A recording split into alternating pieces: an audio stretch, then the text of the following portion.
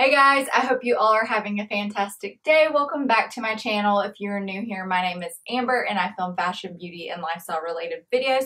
If you're into that kind of thing, please consider subscribing and ring that notification bell down below so that you can be notified every single time that I upload a video. And for today's video, I just wanted to share with you all what my opinions are on what is most essential for you to purchase to get you through pregnancy as far as fashion items go. So if you're interested in seeing what I think is the most beneficial thing to buy during your pregnancy, then just keep watching.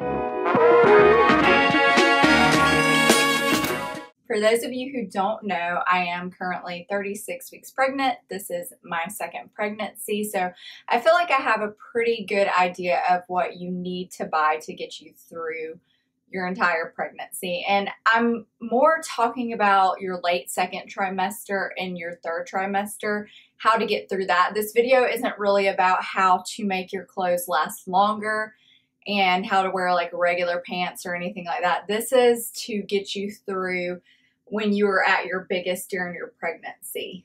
We all know that maternity clothing is just ridiculously priced considering how long you're going to be able to wear those items. It could just be for one pregnancy that you're able to wear them. In my case, I am 20 pounds lighter than I was my first pregnancy. So I wasn't even able to wear any of the clothing that I purchased during that time. So um, I just wanted to put just a list together for you guys, just in case you're in the same situation as me and you don't want to spend a fortune on clothing that you're not going to be able to wear for a long time, I'm a little bit budget conscious. I can't just spend money on whatever I want. And guys, I'm out of breath. just from talking this pregnancy, I just get out of breath so easily. But anyway, um, what was I saying?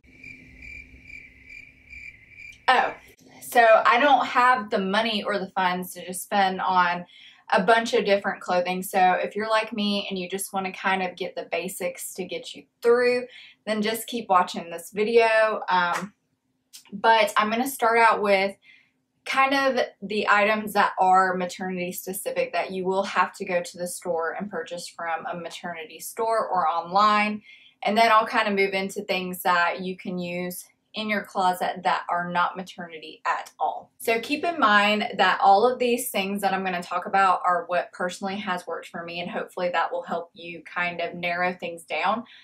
But it, everything is going to depend on how much weight you gain during your pregnancy, how you carry, and just your general comfort level and your needs for your wardrobe. So for me, I am 20 pounds, like I said, 20 pounds lighter than I was my very first pregnancy. But during my first pregnancy, I carried differently and I could wear the same leggings, non maternity leggings, all the way through my pregnancy.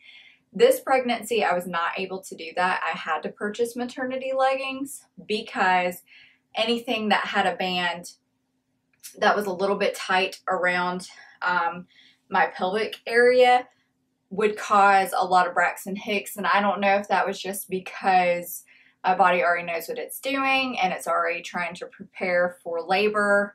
Not really sure, but just keep that in mind. Things will be a little bit variable. The first item that I feel like you cannot get away with when it comes to the end of your pregnancy are pants. Of course, this is going to depend on your occupation on what kind of pants you need. If you work in an office, you're probably going to want to purchase a couple pairs of dress pants. If you're a stay at home mom, you may just need a pair of jeans to get you through or some leggings and sweatpants, and then that's about it. So it really just depends on what your needs are. For me, I'm a nurse practitioner, so I bought one pair of maternity um, scrub pants because that's what I wear. If I were to work in an office um, that required that I wore business clothes, then I would probably purchase a couple pairs of slacks that were maternity just to get me through the week. I only work three days a week, so I felt that one pair of maternity scrubs was good for me. I just would rewear them. I don't deal with bodily fluids or anything like that. So I was okay with wearing them multiple days in a row without washing them. I wasn't doing anything that I was getting really nasty. And if I did that day, then I would wash between. But I didn't want to spend a bunch of money on maternity scrub pants because scrubs are already kind of expensive for basically pajamas. So I just stuck with just maternity scrub pants and then I ordered a maternity, not a maternity top, I ordered a larger um, work top because the company I work for, they do issue out uniforms and I just purchased something a little bit larger um, to get me through the rest of my pregnancy. The next thing that I found to be the most essential thing was a pair of maternity jeans. So I have these here that I got from ASOS. They have the under the belly band here. I find them to be very comfortable. I got them in a simple, they were a little bit darker of a wash, but they faded some because I wore them and washed them several times. And for the most part, they are pretty simple and plain. They do have a raw hem at the bottom just to kind of give it a little bit more edge. But other than that, I just wanted to buy something that I could wear to church, I could wear to a nice dinner, I could wear casually, just an all-in-one pair of jeans that I wouldn't have to really think about um, when it came to getting dressed. Um, just something really simple and I felt like this wash could be dressed up or down, especially when it was a little bit darker before it faded some. Um, I would just stick with buying maybe one or two pairs of jeans depending on how much you're going to wear them during the week. But for me, I did buy two pairs. I bought one pair that had um, a similar wash as this, but they had rips at the knees because I just felt like I needed something to zhuzh up my wardrobe, I guess, during maternity and have something a little bit cute to wear. But I found myself not even reaching for them, so I felt like I kind of wasted my money there. I got these from ASOS, and everything that's available I will link in the description down below. But um, I did feel like I wasted my money and I probably could have just went with one pair of maternity jeans and called it a day. Like I said, I got these jeans from ASOS and they ran about $40, something like that. I can't remember the exact pricing, which if you wanted something a little bit more affordable, definitely check out Target. They have a lot of good selection for a lot more affordable prices. But this pregnancy, I am a lot smaller than my first pregnancy. And so I was not able to find my size in Target, even online. Most of their jeans only go down to a size 2, and I really needed a size 0 to keep them staying up. So I had to go online and find a website that sold maternity jeans at in smaller sizing, which is why I chose ASOS. So still not a terrible price, but you know, Target does have some jeans that are a little bit more affordable and you can probably find them on sale a lot of the times. But anyway, um, just for reference, if you're petite like me, I weigh 125 pounds, I believe was the last weight that I got at the doctor recently. So the next essential item in terms of pants for me were maternity leggings. So you don't have to buy maternity leggings. If you can get away with it, I suggest that you just wear your regular leggings and continue with that throughout your pregnancy. Like I said, my first pregnancy, I was able to do that and it didn't bother me at all. But this pregnancy, it was so uncomfortable to wear anything with a band right around my pelvic area. It just was super tight was very irritating to my uterus, caused a lot of practice contractions. I went into preterm labor with my son. I didn't want to have anything that would cause any kind of irritation. So I went ahead and invested in two pairs of maternity leggings. These I got from Motherhood Maternity. They retail for, I believe, $21.99 originally, but they're always having sales at Motherhood Maternity and I got these um, buy one, get one half off. So I really only spent about $15 on both pairs um, altogether. And these really have truly um, been worth every penny because I've worn them so much. They're super faded. I have grease stains on them from coming home and changing into them and cooking dinner. So they were very much well loved and worth the money because at this point they probably need to be donated or not even donated, just thrown in the trash because they're that worn out.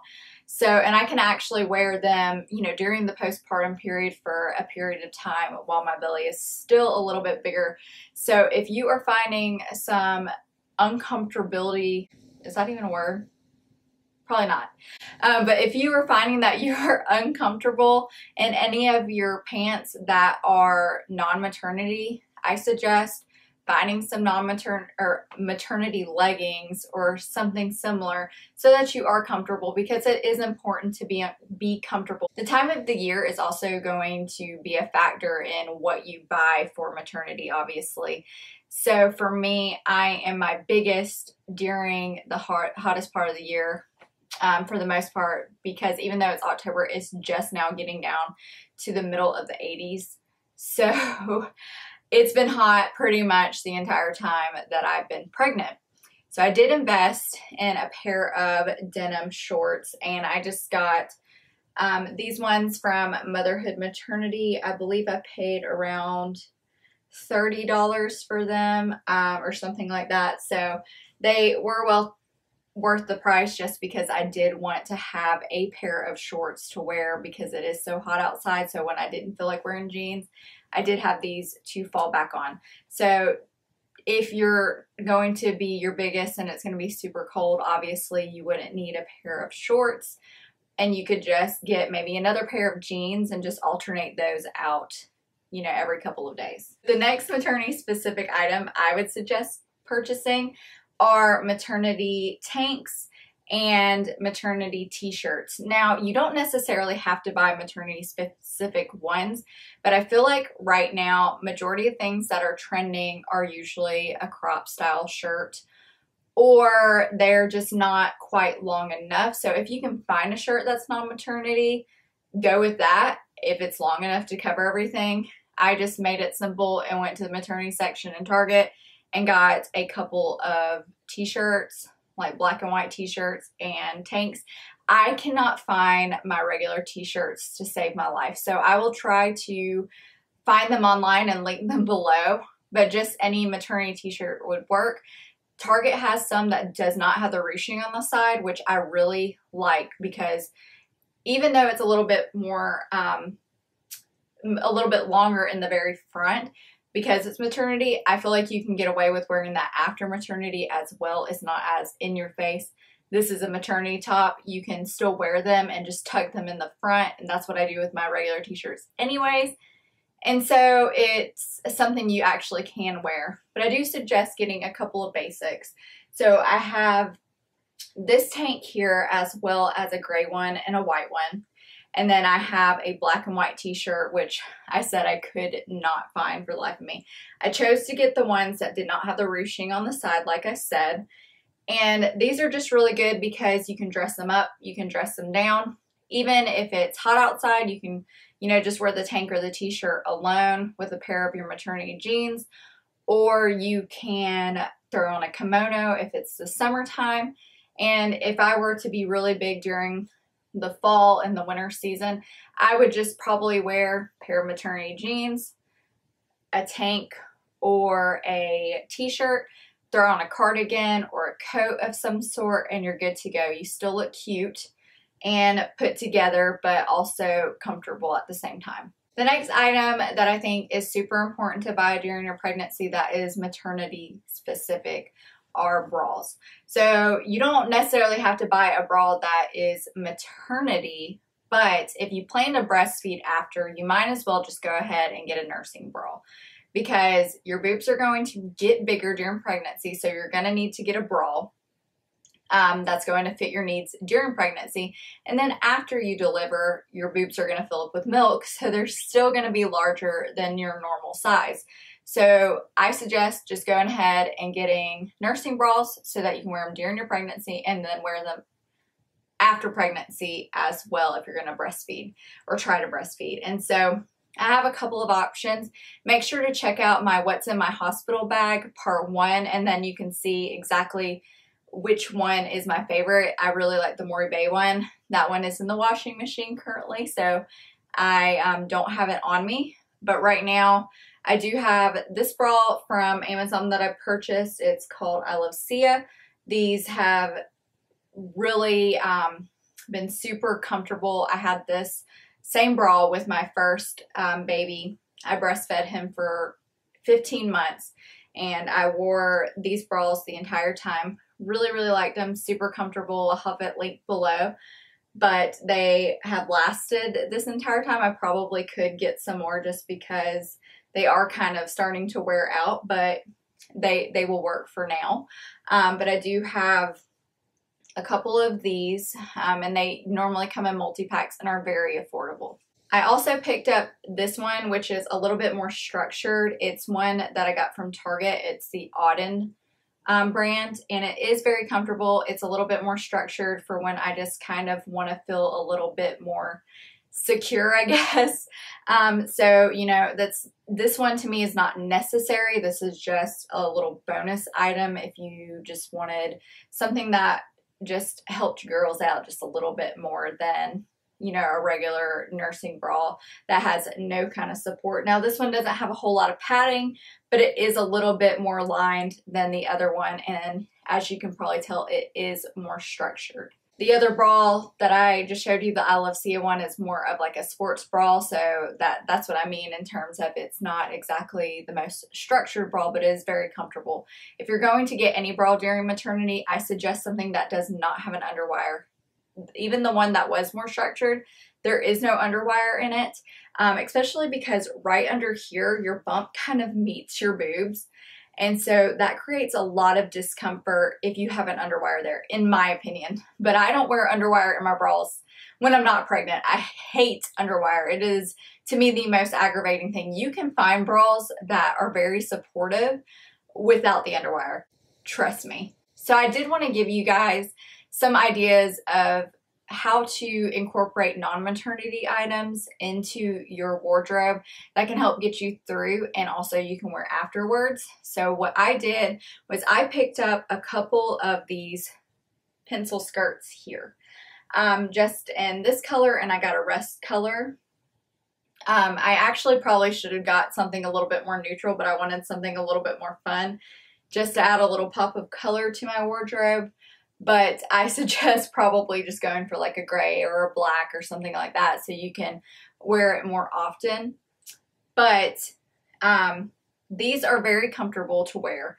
You can wear them above your bump and you can dress them up, you can dress them down, you can wear it with just a t-shirt and tie it right above your bump for a more casual look with a pair of sneakers.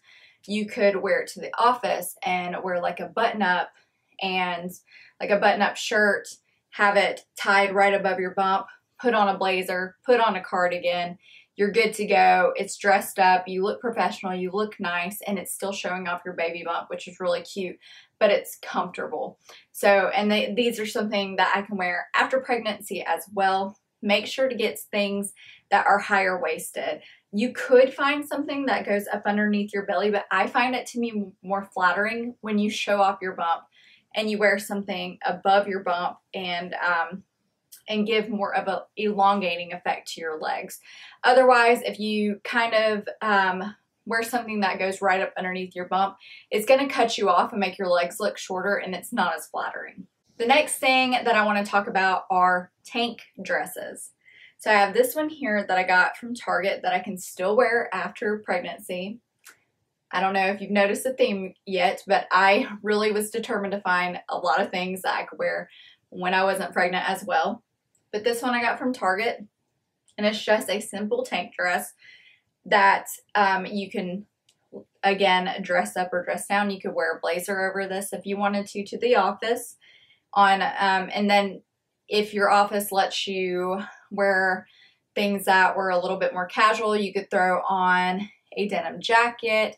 You can wear a pair of sneakers with it. There's so much you can do with the tank dress. You could also just wear it by itself, put on a cardigan. So it really just depends on your mood and what environment that you are in. but these are stretchy. They'll go over your bump really nice and show off your belly.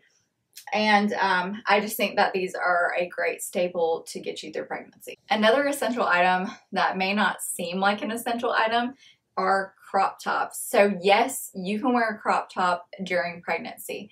If you just get something that's high-waisted, stretchy and high-waisted, like I said, that skirt, that pencil skirt that I showed you earlier, or even like a pleated skirt, you can wear that above your bump and you can throw on a crop top with it that'll hit you right above the bump. You don't have to worry about tying it. And then um, you still look super stylish and super cute.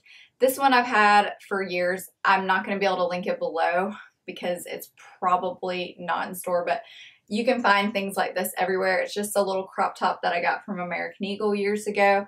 And I've wore this several times with one of those pencil skirts. It looks really cute and casual. I could throw a denim jacket over it and kind of tone it down or dress it up a little bit more with a blazer on top if I wanted to, but just super cute and flattering. Right now I am actually wearing a crop top with a black high-waisted skirt. Neither one of these items are maternity and I look stylish. I look like I'm trying to show off my bump and I'm not spending extra money on maternity clothes. These next items that I'm going to talk about are not necessarily essentials, but I did want to bring it up because if you're like me, you still want to look stylish during pregnancy. So these are some things that you can kind of incorporate. I keep talking about throwing things over your basic pieces. So making sure you have layering pieces. So of course you can throw on, like I said, a kimono. If it's the summertime or spring, throw uh, on a kimono over those t-shirts or tanks and you instantly have an outfit. You look stylish still and super cute and your bumps still showing off really nicely. And then of course a cardigan. So cardigans are just essential to me in general. Like every girl needs as many good cardigans as you can get your hands on. I love cardigans.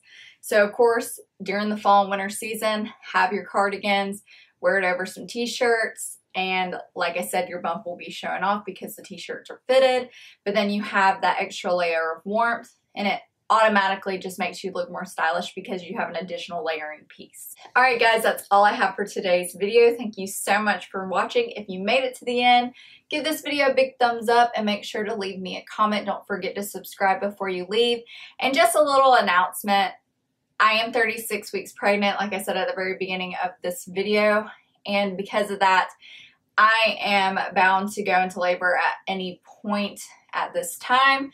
I am um, actually almost 37 weeks pregnant, so almost full term. But I did just want to give you guys a heads up that I may not be very consistent with uploading. I actually don't plan to upload during the initial period of bringing my newborn home.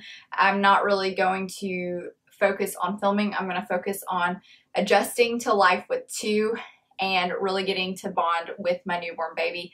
I'm new to YouTube, so I haven't had a whole lot of time to pre-film. So I did want to just let you guys know that, but I will be providing you all with updates and cute baby videos on my Instagram. So make sure to follow me over there. It's just Life with Amber Lee. And I'll update you guys on what's going on in my daily life. But I don't plan to upload to YouTube until I kind of have a grasp on life itself after the newborn is here. So thank you for understanding and I can't wait to see you guys in my next video and you all have a wonderful day. Bye!